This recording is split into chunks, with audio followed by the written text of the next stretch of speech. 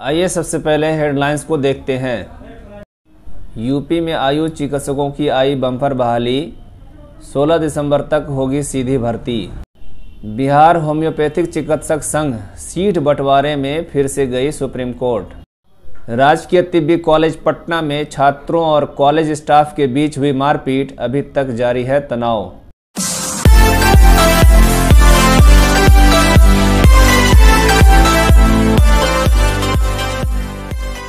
अलैक्म नाजरीन आप देख रहे हैं uni press Unani news portal मैं डॉक्टर मोहम्मद जाहिद इकबाल आप लोगों के सामने यूनानी से मुतल ख़बरों को लेकर हाजिर हुआ हूँ।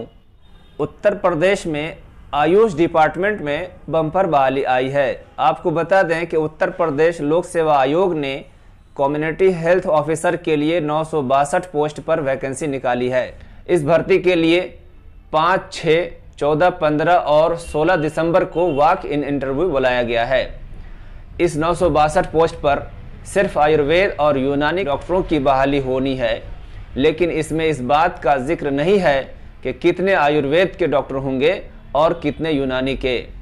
लगातार सालों में उत्तर प्रदेश में इस तरह की बड़ी दूसरी बहाली है। ज़्यादा डिटेल के लिए उत्तर प्रदेश के पब्लिक सर्विस कमीशन का वेबसाइट देख सकते हैं। ज्ञात सूत्रों से पता चला है कि बिहार होम्योपैथिक चिकित्सक सर्विसेज़ एसोसिएशन ने फिर से सीट रेशू के मामले में सुप्रीम कोर्ट चली गई है। इसके बारे में बिहार के आयुष डॉक्टरों को पता होगा कि होम्योपैथिक डॉक्टरों की संगठन ने सुप्रीम कोर्ट में केस किया था, जिसमें उनका डिमांड था कि सीट रेशियो 50 30 20 से चेंज करके आयुर्वेद होम्योपैथ को 46 परसेंट जबकि यूनानी डॉक्टरों को 8 परसेंट किया जाए। उसके बाद बिहार यूनानी डॉक्टरों की एकमात्र तंजीम एसोसिएशन ऑफ़ यूनानी फिजिशियन ने इस मामले में इंटरवेन किया था, जिसके बाद अगस्त 2022 में ये मामला सुप्रीम कोर्ट ने खारिज कर दिया था। सुप्रीम कोर्ट ने 1 अगस्त 2022 को हुए फैसले में ये कहा था कि बिहार सरकार सीट रेशू पर अलग अलग बिंदुओं को नज़र में रखते हुए फिर से कमेटी बनाकर फैसला करे और कमेटी का रिपोर्ट तीन महीने में सबमिट करे। लेकिन बिहार सरकार इस मामले पर अब तक चुप्पी साधे रही और तीन महीना गुजर जाने के बाद भी न कमेटी बनी और न उसका कोई फैसला सामने आया। इसको देखते हुए होम्योपैथिक चिकित्सक संघ ने फिर से सुप्रीम कोर्ट का दरवाज़ा खटखटाया है और जिसकी वजह से हो सकता है कि मौजूदा वैकेंसी पर फिर से असर पड़े। इससे पहले पटना हाईकोर्ट ने भी ये फैसला दिया था और उसमें कहा था कि बिहार सरकार कमेटी बनाकर सीट की बंटवारे को डिसाइड करे। जिसके लिए बिहार सरकार ने कमेटी बनाई भी थी, फिर उस कमेटी के द्वारा ये पास किया गया था कि जो सीट रेशियो पहले से है, वो बेहतर है, उसी को बरकरार रखा जाएगा। लेकिन सुप्रीम कोर्ट के इस आदेश के बावजूद स्वास्थ्य विभाग इस पर क्यों चुप्पी साधे रहे, ये बड़ा सवाल है।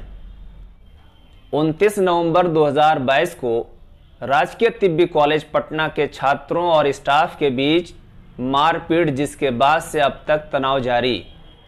आइए सुनते हैं खबरें विस्तार से। पिछले सप्ताह राजकीय तिब्बी कॉलेज पटना के प्रिंसिपल प्रोफेसर श्री तोहिद किबरिया साहब के समक्ष कई सारी डिमांड लेकर पहुँचे उसके साथ ही छात्रों की भीड़ भी थी। लेकिन उनमें से चार पाँच छात्रों को अंदर बुलाकर प्रिंसिपल साहब ने गंभीरता पूर्वक सारी बातों को सुना और उनके हर एक डिमांड पर अपना तर्क भी दिया। और जो होने वाला है, उसका आश्वासन भी दिया और जो न होने वाला है, उसके बारे में दो टोक कह दिया। फिर भी उन्होंने छात्रों से कहा कि पाँच दिसंबर तक सारे मामले को हम देखते हैं। इस मसले को लेकर पाँच दिसंबर के बाद बात कीजिए। नेशनल स्कॉलरशिप प्रोग्राम, एनएसपी के लिए फॉर्म भरने की आखिरी तारीख 30 नवंबर तक थी और उनमें से बहुत सारे छात्र जो खासकर सेकंड ईयर के थे, जिन्होंने एग्ज़ाम दिया था और उनका रिज़ल्ट नहीं आया था, उसका स्कॉलरशिप के लिए क्लेम रिजेक्ट हो गया था। और उनसे ये कहा गया था कि आप मार्कशीट लेकर आइए या प्रमोट कर दिया गया है, ऐसा कोई पेपर लेकर आइए। इसके लिए छात्रों ने 25-26 नवंबर को प्रिंसिपल साहब से मिले और प्रिंसिपल साहब ने कॉलेज के assistant professor doctor Nafees Iqbal साहब को और डॉक्टर शफात करीम साहब को बुलाकर स्टूडेंट के सामने बैठकर मामले को समझने की कोशिश की और उसके बाद ये फैसला भी लिया गया कि स्टूडेंट को प्रमोट करने का एक लेटर दे दिया जाए।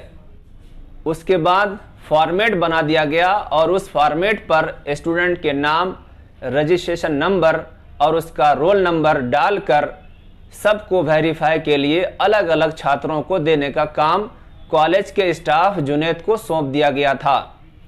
स्टूडेंट ज़्यादा थे और स्टाफ अकेला था, हो सकता है स्टाफ इफ़िशियंटली काम न किया हो, लेकिन छात्रों के पास भी वक्त कम था जिसकी वजह से वो अपना धैर्य न रख सके और स्टाफ के साथ छात्रों का हॉट टॉक हो गया। बढ़ते भीड़ को देखकर स्टाफ वहाँ से उठकर ऑफ़िस गए। उसके बाद सारी भीड़ भी ऑफ़िस में आ गई।